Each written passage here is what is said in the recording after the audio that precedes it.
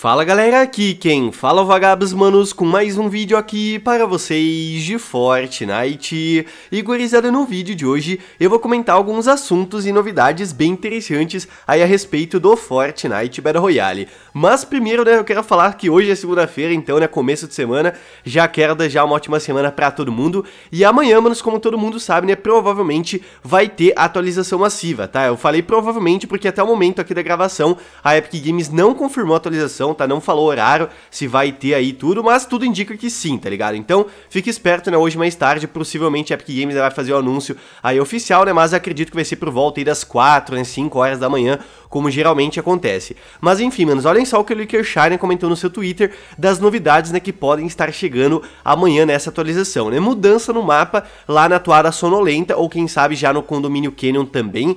Uma grande mudança também no templo, tá ligado? Que também já foi vazado que o local vai ser modificado novas coisas para o evento de verão, né? Isso aqui eu já comentei com vocês, que o evento de verão, né, digamos que ele começou ali entre aspas, né, há duas semanas atrás, junto lá com o evento do Naruto, né, com aqueles desafios de Ilha em Ilha lá do modo criativo, mas vai ter a parte 2, né, desse evento que provavelmente vai começar amanhã. Os cosméticos então, né, do Indiana Jones vão ser liberados nessa semana aí pra gente, né, que é a skin secreta aí da temporada, né, skin extra, enfim. Novos desafios semanais vão ser adicionados, isso aqui não é novidade. Algumas notícias, quem sabe, né, da skin do Luke Skywalker, que eu também já comentei, né, que a skin foi vazada, tipo, foi encontrada nos arquivos, que vai ter o NPC do Luke, né, chegando no mapa, vai ser uma skin também que vai chegar na loja, quem sabe isso aconteça amanhã, tá ligado? Quem sabe amanhã o Luke já chegue no mapa ali e tudo, né, vamos ver se isso já vai acontecer. E também, né, possivelmente uma nova arma vai estar chegando, ou quem sabe uma arma antiga vai voltar do cofre, né? Ele comentou também né, que algumas outras coisas a mais mais podem estar chegando amanhã. Então, realmente vai ser uma atualização importante, né? A última atualização massiva também foi bem importante, né? Teve o lançamento lá do evento do Naruto e tudo. E essa aqui de amanhã também promete né, bastante coisa. Então, fique ligado. A atualização, né? Como eu disse, não foi confirmada ainda, mas tudo indica que vai ser amanhã. Eu vou estar trazendo né, todas as notícias, novidades, né, vazamentos aqui no canal, né? Como sempre. Então, vão ter vários assuntos amanhã para serem abordados por aqui. E olhem só, rapaziada, já aproveitando aqui esse assunto, né? Do evento de verão, eu já comentei, né? Que provavelmente né, algumas skins de verão finalmente vão estar tá chegando, já que isso não aconteceu nas últimas semanas, tipo, só voltou skin antiga, mas não foi lançada basicamente nenhuma skin nova de verão, e uma skin que pode ser lançada já durante os próximos dias é essa skin que estou mostrando para vocês na tela. Tipo assim, não tem muito assim a temática de verão, tá ligado? A gente pode ver que é meio que uma diaba ali, vou dizer assim, né? Tem essa parada de ser quente e tudo, então quem sabe, né, tem uma relação ali com o verão, mas não é tanto, tá ligado? De qualquer forma, eu tô comentando que ela pode ser lançada, porque tipo assim, nessa imagem imagem aí é apenas uma concept que apareceu numa pesquisa feita pela Epic, mas na última atualização que teve no jogo foi colocado nos arquivos esse spray aí, mano. E como dá pra ver, é exatamente a skin, né? Aí representada no spray. Ou seja, ela provavelmente vai estar chegando, né? Vai ser uma das skins vazadas nessa atualização de amanhã. Se ela não chegar amanhã, né? Tipo, não for vazada, acredito, né? Que vai chegar até o final da temporada, porque como ela apareceu no spray já encontrado nos arquivos, né? Tudo indica que sim, ela vai estar chegando em algum momento. Então, se você gostou dela, já vai preparando aí os V-Bucks. E rapaziada, outro assunto, né, com relação à atualização de amanhã, é que como eu disse, né, provavelmente vai chegar uma nova arma ou quem sabe voltar uma arma antiga. E uma arma que pode estar chegando amanhã, uma arma nova, é uma nova espingarda chamada Overload, acho que é assim que se fala, que ela foi vazada no início ainda da temporada. Olhem só que o Hypix tinha comentado no seu Twitter, que essa shotgun chamada Overload, ela vem em todas as raridades, tá? Então comum até lendária. Ela possui 4 balas no pente, 5 segundos na né, média ali do tempo de recarga, claro que varia né, de raridade para raridade, mas não muda tanto.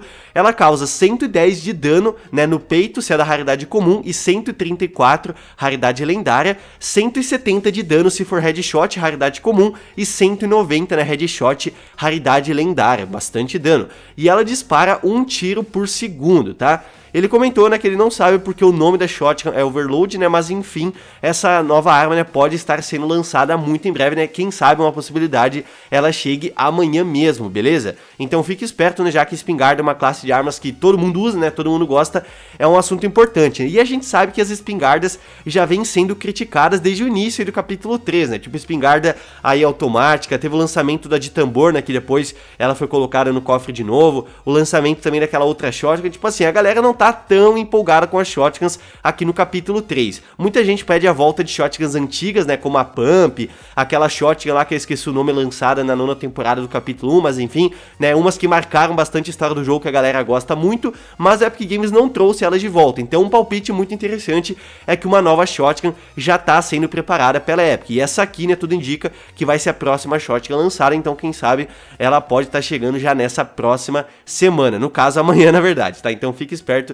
né? Pode acontecer isso também. Mudando agora de assunto, manos, uma parada que eu quero mostrar aqui pra vocês é esse post publicado no Reddit, em que o cara, né, ele coloca essa tela de carregamento que chegou no jogo, né, com relação ali à última parceria com o Naruto, e ele escreveu o seguinte, quem também acha, né, que essa tela de carregamento parece que foi feita por um fã, né, tipo, editada por um fã, e não é uma tela oficial do jogo? E, manos, muita gente, né, comentou que concorda, inclusive muita gente, né, com a mesma opinião que eu, que não tinha percebido, mas olhando bem, realmente essa tela de carregamento parece que é feita ali no Photoshop, tá ligado? Tipo, não que não tenha sido feita no Photoshop mesmo, mas não sei se vocês entenderam, tipo, parece que é um PNG ali dos personagens colado na frente do ônibus de batalha. Se a gente prestar atenção, tipo, no Itachi e também no Gara, principalmente, acho, parece muito, né, que eles estão colados ali na imagem. Se a gente olhar o Naruto ali em cima, a Bia lá no fundo, o Orochimaru também escorado, dá pra ver que eles estão de fato ali no ambiente, vou dizer assim. Mas o Itachi, o Gara, até mesmo a Hinata ali, né, os três da frente, parece que é meio colado, tá ligado?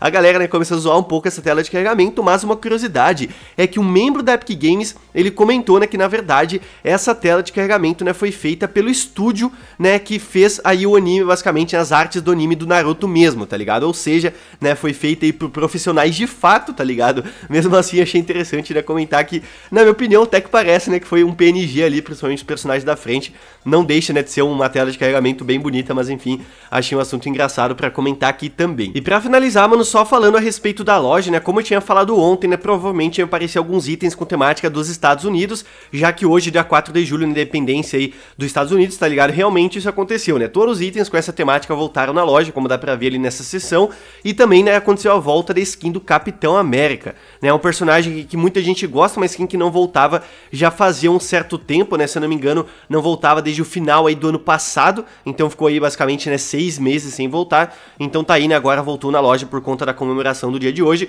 Se você, né, tá afim de comprar o Capitão América, né, ou outras skins com a temática dos Estados Unidos, aproveite agora, né, afinal elas podem sair muito em breve e demorar um bom tempo para estarem retornando, tá? Mas então é isso, galera, espero que vocês tenham gostado aqui do vídeo, comente embaixo o que você achou dos assuntos que eu falei aqui, pra você ficar ligado então, né, que amanhã provavelmente vai ter atualização, né, se não acontecer amanhã, que eu acho difícil, vai ser na quarta-feira, né, de qualquer forma, claro, vou estar tá trazendo todas as novidades, vazamentos, né, tudinho aqui no canal para vocês, né, há indícios aí que vai ter a segunda parte do evento de verão, vamos ver, né, como é que vai ser, espero que seja muito bom, porque o hype não tá tão alto assim, tá ligado? Mas enfim, se você gostou, manos, deixa o likezão aí, porque me ajuda muito também, e claro, né, mande aí pros seus amigos para todo mundo ficar ligado em mais assuntos e novidades bem interessantes do jogo. Então é isso, manos, aquele abraço, se vemos no próximo vídeo, valeu, falou, e eu fui!